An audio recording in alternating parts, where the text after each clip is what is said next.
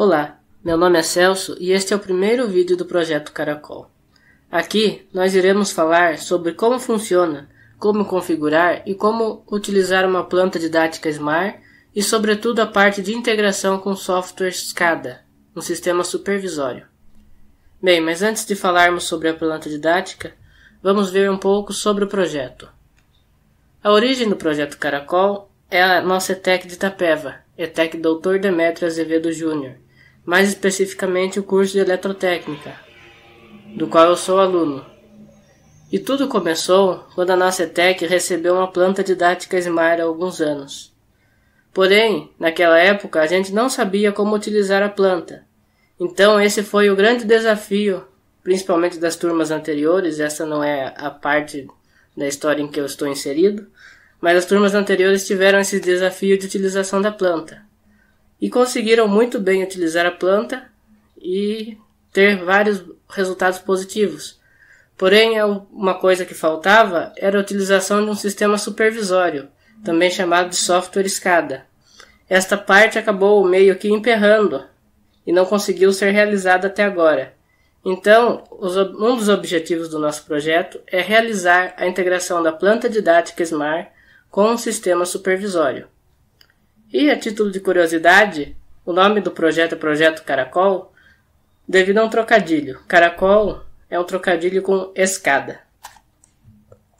Bem, vamos falar sobre os objetivos do nosso projeto. Os nossos objetivos são fazer a planta didática funcionar e integrá-la ao software SCADA BR, que é um software do tipo SCADA, gratuito e open source, o que significa que ele é livre para utilização sem absolutamente nenhuma restrição. Criar documentação e tutoriais básicos, que é o caso deste vídeo.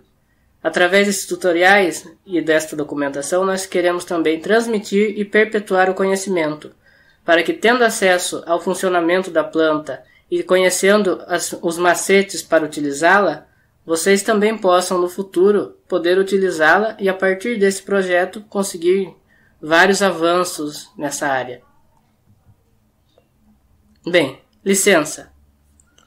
Como o nosso objetivo é transmitir o conhecimento, os arquivos desse projeto estão licenciados sob a licença Creative Commons Atribuição Não Comercial ou outras licenças livres, como a MIT e a GPL 2.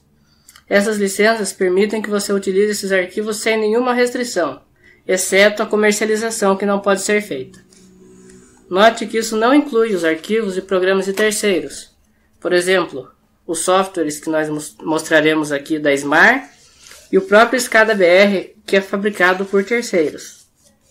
Porém, no que se trata dos arquivos do projeto Caracol, sinta-se absolutamente livre para utilizar e modificar este projeto e este material para qualquer finalidade não comercial. Bem, vamos falar sobre a planta didática. Esta planta é utilizada por nós na disciplina de controle e automação. Ela simula um processo industrial genérico e é muito útil para aprender sobre programação de CLPs, sistemas SCADA, instrumentação industrial, controle de processos e outras coisas. Aqui temos uma representação de como funciona a planta. Os elementos principais da planta são um reservatório, o tanque de aquecimento e o tanque de mistura. E o processo que a planta executa é o seguinte: no reservatório é armazenado algum tipo de líquido, pode ser água, óleo ou qualquer outro líquido. Através de duas bombas, este líquido é bombeado para os tanques superiores. No tanque de aquecimento, esse líquido é aquecido através de uma resistência de imersão. Após o líquido chegar a um determinado nível, através de uma tubulação que liga os dois tanques, a água, o líquido aquecido, começa a cair por gravidade no tanque de mistura. No tanque de mistura ocorre como ocorrer, ocorreria em um misturador de chuveiro, em que a água quente se mistura à água fria e produz água morna. Esse líquido morno pode tanto ser utilizado para uso externo depois, como pode retornar ao reservatório e reiniciar o processo. Este é um processo muito simples, mas o principal nesta planta não é o produto final. Nós não queremos com ela produzir nada de extraordinário. Pelo contrário, a grande finalidade didática da planta é você conhecer o processo e saber gerenciá-lo, seja controlando os sensores e os atuadores, como por exemplo o controle de temperatura que pode ser realizado, controle de vazão, a programação de CLP, enfim. Por trás de um processo simples como esse, dá para aprender muita coisa. E já que estamos falando de CLP, vamos explicar mais o que é um CLP. CLP é uma sigla que significa Controlador Lógico Programável. O CLP atua como se fosse o grande cérebro do nosso processo, ele que vai automatizar todas as ações do processo. No nosso caso da planta SMAR, o nosso CLP é o LC700, que também é fabricado pelo SMAR. O CLP é semelhante a um computador, mas é voltado a processos industriais. Ele também pode ser programado, usando linguagens específicas para CLP. Essas linguagens são normatizadas. E esse CLP pode também ser conectado a um computador, o que permite o envio de dados e a integração com sistemas SCADA. Aqui nesta figura temos uma representação de como funciona um CLP. O CLP é este dispositivo aqui, inclusive o nosso CLP LC700 se parece bastante com essa figura. Ele tem entradas e saídas, que são conexões. Nessas conexões de entrada vão ligados sensores, e nas conexões de saída são ligados atuadores. Os sensores podem ser de diversos tipos, como temperatura, pressão, nível. Os atuadores também podem ter diversos tipos. E tanto sensores como atuadores podem ser ou digitais ou analógicos. Bem, o CLP recebe alguma informação dos sensores através de suas entradas e, processando uma lógica que você irá criar, você irá programar esse CLP, ele irá tomar uma decisão com base no que ele recebe nos sensores e poderá ou não enviar algum sinal aos atuadores. Vamos dar um exemplo. Digamos que você tem um sensor de temperatura.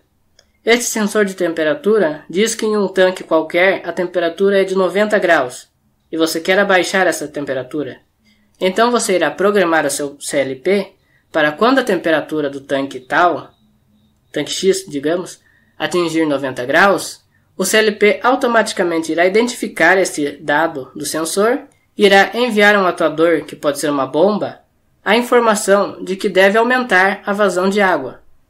Aumentando a vazão de água, a temperatura do seu tanque tende a diminuir. Assim, o CLP controla e coordena todo o processo. Conf 700. Bem, o Conf 700 é o programa que a Smart nos oferece para configurar o seu CLP LC700. Ele permite programar o CLP em linguagem ladder. A linguagem ladder é uma linguagem específica para CLPs. E ele também nos dá suporte a funções especiais, que seguem o estilo da linguagem FBD, que é outra linguagem para CLPs. Aqui nestas figuras temos uma ideia de como é a aparência de um programa em ladder e um programa em FBD. A linguagem ladder ela foi desenvolvida para imitar a lógica de comandos elétricos. Então, se você tem facilidade com comandos elétricos, não terá dificuldade com ladder. Por exemplo, este elemento aqui simula um contato normalmente aberto, que estaria em série com uma bobina de saída. Não se assuste da gente chamar esta, este elemento de bobina.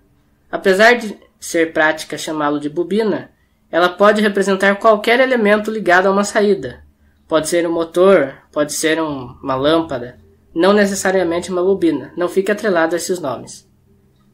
Este elemento aqui representa um contato normalmente fechado, que estaria em paralelo com o normalmente aberto e estaria em série com outro normalmente aberto. Enfim, se você conhece um pouco de comandos elétricos, você pode pegar a noção de, do que está sendo representado aqui. Qualquer coisa, na internet existem diversos tutoriais sobre linguagem ladder e seus professores podem ajudar bastante nesta parte. Agora, a linguagem FBD. Enquanto ladder simula comandos elétricos, FBD se parece mais com eletrônica. Estes elementos em FBD, digamos que simulam circuitos integrados. Então, através dos elementos FBD, você pode incluir diversas funções, tanto lógicas quanto aritméticas. Por exemplo, Aqui temos um bloco FBD que simula uma porta lógica AND, função lógica AND, E. Aqui temos outro que simula OR. Os blocos FBD ainda permitem outras ações, como por exemplo, soma, subtração, módulo. O Conf700 possui uma linguagem que é uma mescla, digamos assim, uma linguagem que mistura elementos ladder e elementos FBD. Então, é importante, ou melhor dizendo, é útil que você se aprofunde mais nas linguagens tanto ladder quanto FBD e você conseguirá usufruir melhor do seu CLP LC700. Bem, agora vamos falar sobre a comunicação com o computador. Porque, tanto para programar o, o LC700 quanto para utilizar um sistema SCADA, é necessário comunicar o seu CLP com o computador. E no caso do LC700, essa comunicação deverá ser feita através de algum cabo. Este cabo pode ser um cabo RS232 ou um cabo RS485, ou mesmo um cabo Ethernet, que você já deve ter visto é aquele cabo que conecta computadores à rede local de internet geralmente. Bem, e apenas a título de curiosidade, o cabo RS232 permite a conexão de apenas dois dispositivos. No caso, seria apenas um CLP conectado a um computador. Já os cabos RS485 e os cabos Ethernet permitem a criação de redes com mais de um dispositivo. Então você poderia conectar um computador a dois CLPs, por exemplo. Mas no nosso caso não será necessário porque temos apenas um computador e um CLP.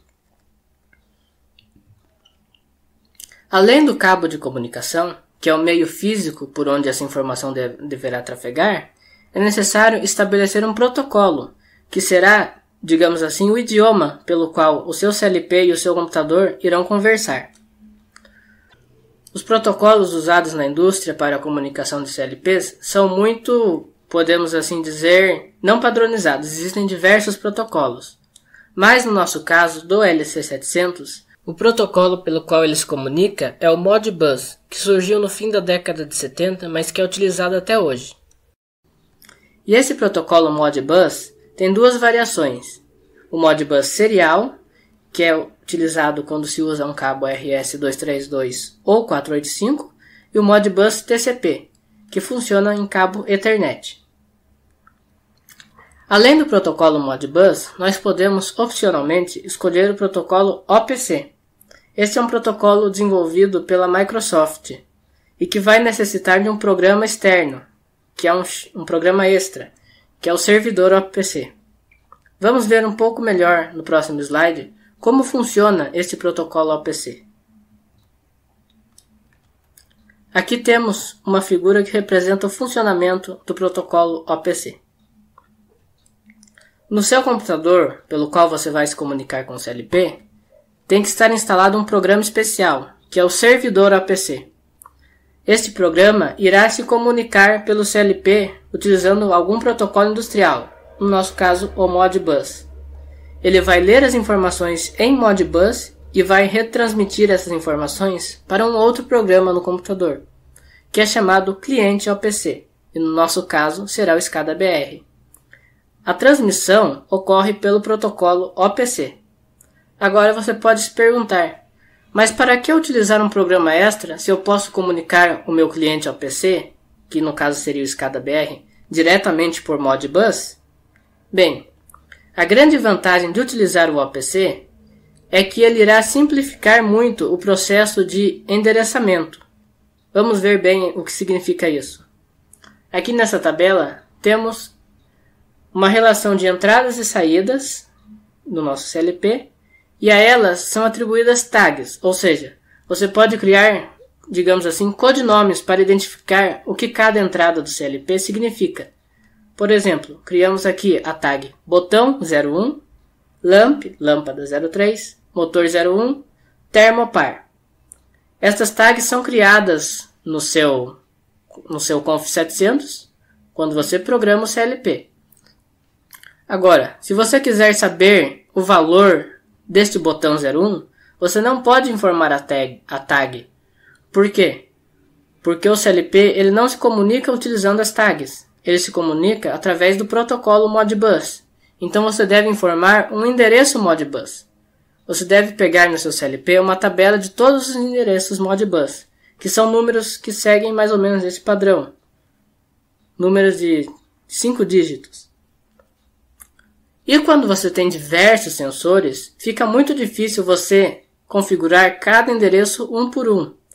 Depois, quando a gente ver na prática isso, vocês vão ter mais noção do que se trata. Mas o que o protocolo OPC faz? Bem, esse programa, que é o servidor OPC, geralmente é fornecido pelo próprio fabricante do CLP.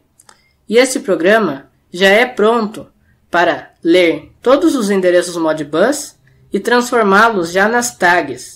Então, quando você for se comunicar com o seu cliente OPC, você não vai ter que se preocupar em descobrir quais são os endereços de cada entrada e de cada saída, porque o OPC já pega todos esses dados e lhe entrega pronto tanto a tag, pela qual você pode identificar muito mais facilmente qual sensor de entrada ou atuador de saída você está lidando, quanto o valor atribuído a essa tag.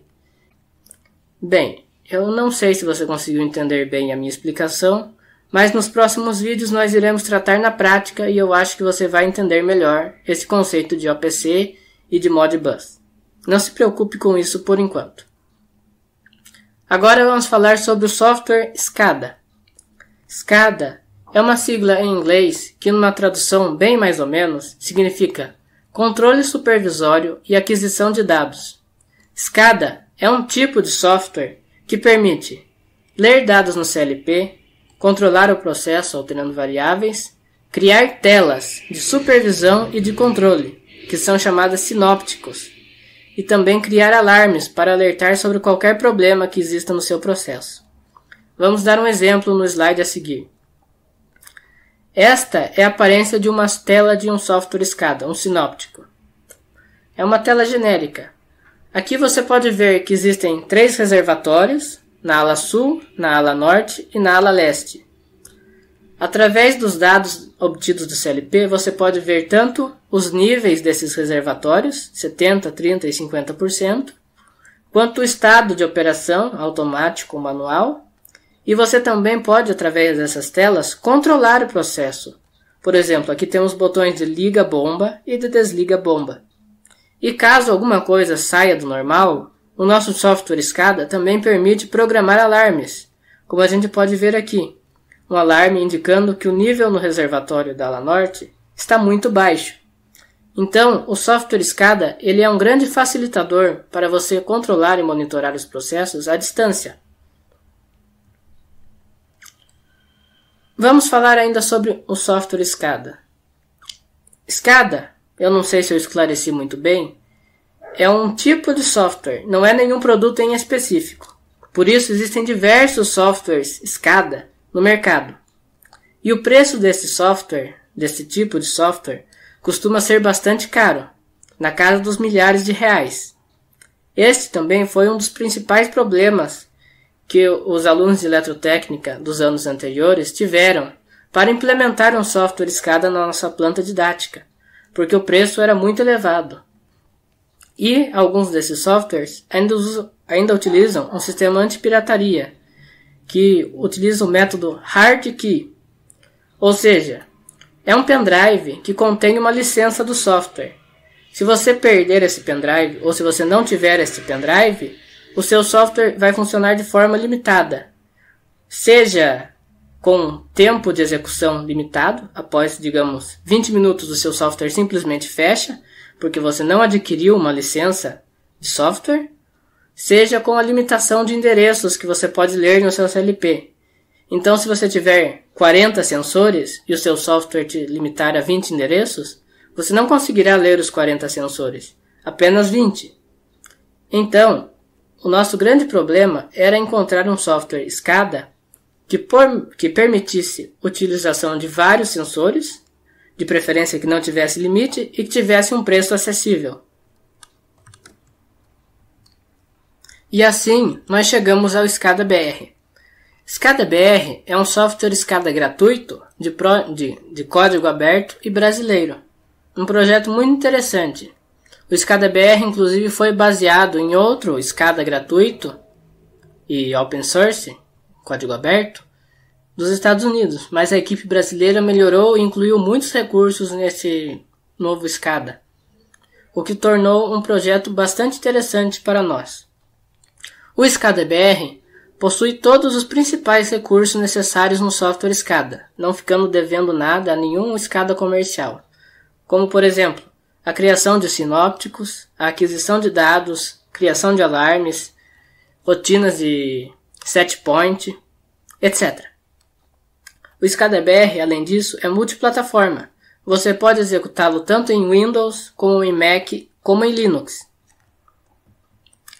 Ele funciona baseado em tecnologias web, ou seja, em te tecnologias de internet. Portanto, quando você for acessar o SCADA-BR, você vai acessá-lo através de uma página no navegador, e toda a configuração será feita através do navegador. O que é bastante interessante, porque as tecnologias de internet são, digamos assim, o futuro. E os SCADA-BR suporta diversos protocolos industriais, incluindo o nosso Modbus e o OPC, que a gente já falou nos slides anteriores. E principalmente, o SCADA-BR foi escolhido porque não possui limites de tempo ou de quantidade de tags. Você pode criar indefinidas tags e usar esse software, digamos assim, pela vida inteira, porque ele é absolutamente gratuito, livre para utilização, livre para redistribuição e para modificação. A licença do SCADA-BR, se eu não estiver enganado agora, é a GPL2. Apenas a título de curiosidade. Bem, esta foi a nossa introdução do projeto Caracol. E no próximo vídeo nós iremos ver a instalação do Conf700, do SCADA-BR e do nosso servidor APC, que no caso do nosso, no nosso CLP da Smart será o Taglist 700, o nosso servidor APC. Então, até o próximo vídeo e até mais.